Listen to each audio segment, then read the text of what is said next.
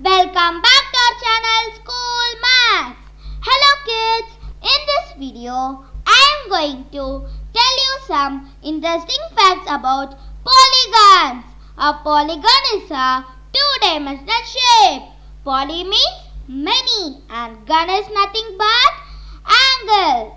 I will show you the shapes which are polygons.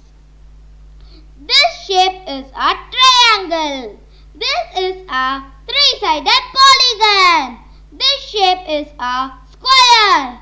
This is a four-sided polygon.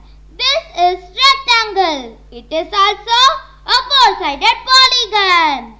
This is trapezoid. It is a four-sided polygon.